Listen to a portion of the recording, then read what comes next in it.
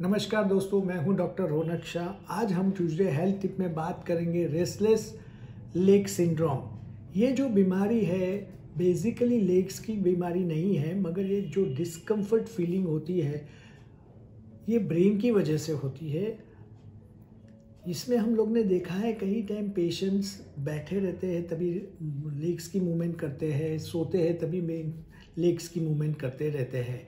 इसका जो permanent reasons है वो आज तक मेडिकल साइंस ढूंढ नहीं सका है, मगर स्टडी से इतना मालूम हुआ है कि जेनेटिक टेंडेंसी होने की वजह से हो सकती है ये बीमारी, या फिर डायबिटिस या आयरन डेफिशिएंसी या फिर varicose veins peripheral neuropathy pregnancy जैसी कई बीमारी के साथ ये रेस्टलेस लेग्स हो सकते हैं।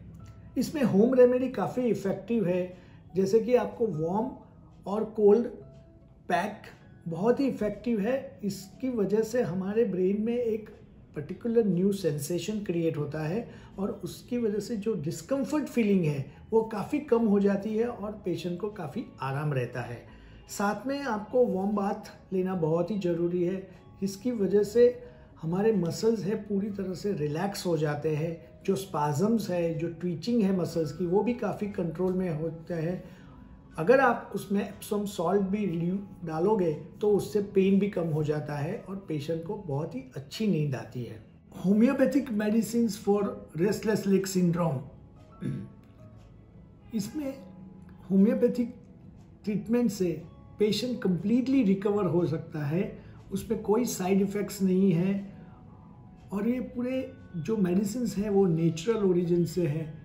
यहाँ हम पेशेंट्स की इंडिविजुअल कॉन्स्टिट्यूशनल हिस्ट्री लेते हैं। उस हिसाब से हम जिंकम मेटालिकम है कॉस्टिकम है औरम मेटालिकम प्लम्बम मैट जैसे कई मेडिसिन हम इंडिविजुअल स्टडी करने के बाद पेशेंट को देते हैं। इससे पेशेंट्स को काफ़ी आराम रहता है और बहुत ही अच्छी उसको नींद आती है और ये जो बीमारी है वो परमानेंट मिट जाती है। So once again thank you very much for connecting